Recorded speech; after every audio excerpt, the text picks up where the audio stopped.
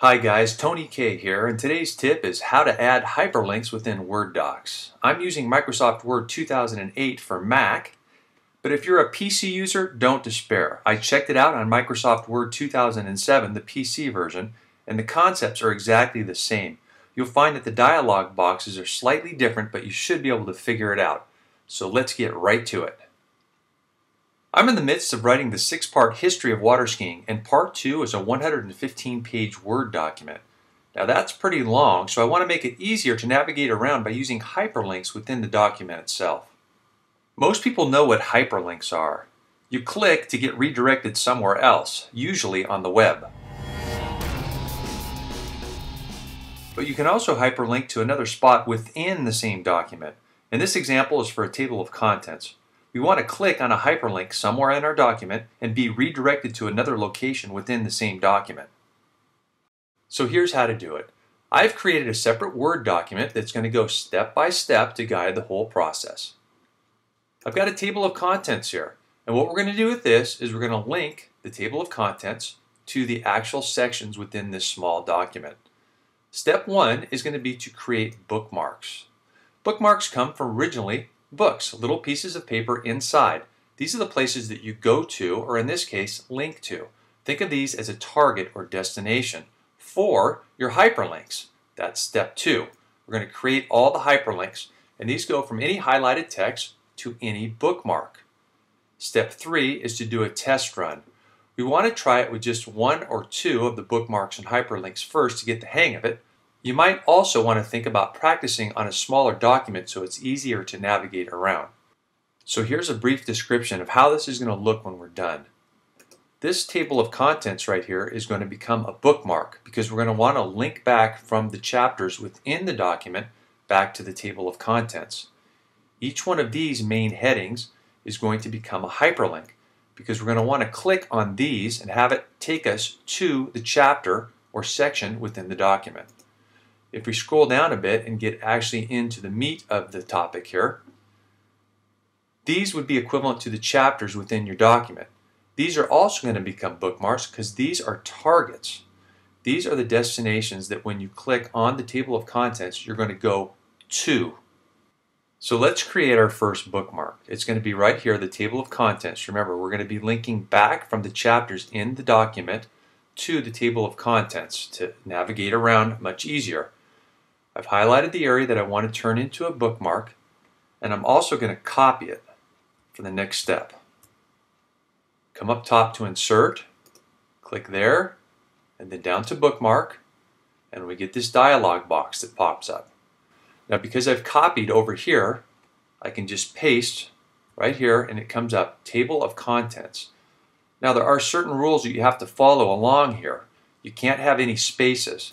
So you can either jam them all together like this, or what I like to do is just put an underscore right here.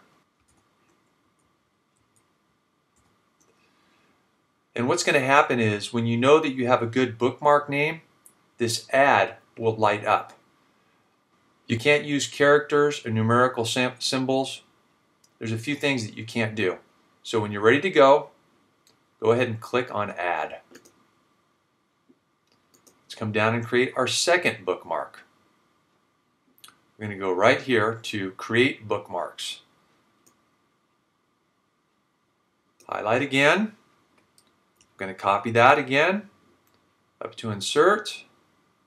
Bookmark. I'm going to paste in again. Now if you notice down here, this box is not available to click on. So we've got to jam all the letters together. I'm going to go with the underscore right there. Delete a space. Delete another couple spaces. And now it's allowing me to add it. So now we've got two. Notice the one from last time is sitting right there waiting for us. So now we want to create the hyperlinks. In this case, we're going from the table of contents to the actual chapters inside the document. So this is going to be our first hyperlink right here, create bookmarks. We highlight the section, right click, then we get the drop down box here that says hyperlink. Now if you'll notice here we've got the link to and in here you've got to put the actual bookmark character for character exactly how you want to have it important thing though is it has to be preceded by a number symbol. Now, you've either written it down or you can get it by a second method. I'm going to show you the second method right now. So let's cancel out of this right here. We want to link from this in the table of contents down to the actual chapter down here. So we'll come up to Insert, Bookmark, and there's the one we're looking for right there, Create Bookmark. So when we click on that, it highlights it up here in Bookmark Name. Now we'll copy it right there and cancel out. Go back to Create Bookmarks. I'm going to turn this into a hyperlink. Right click, click on hyperlink. We've got to have the number symbol first. Remember that. So we'll place that in right here. Now we'll paste what we just got from Create Bookmarks. if you see, it's going to link to Create Bookmarks. There we go right there. So click OK. Now this ends up being a highlighted blue. And when we click on this, it should take us down within the document. And there we go. It took us, the cursor is blinking right exactly at the beginning of, of what we highlighted before. So let's do that process one more time. Okay, I want to do it for the second one. I'm scrolling down to create hyperlinks.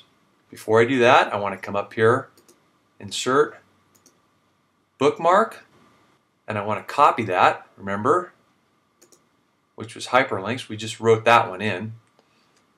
Copy that, cancel out, go back up top to the table of contents where it says create hyperlinks, highlight, right click, hyperlink, got to put in the number symbol and paste in or type the exact bookmark name and click OK. So there it is again. Now this will take us down to create hyperlinks. So I've gone ahead and created all the bookmarks for the entire document, plus the hyperlinks for just the table of contents.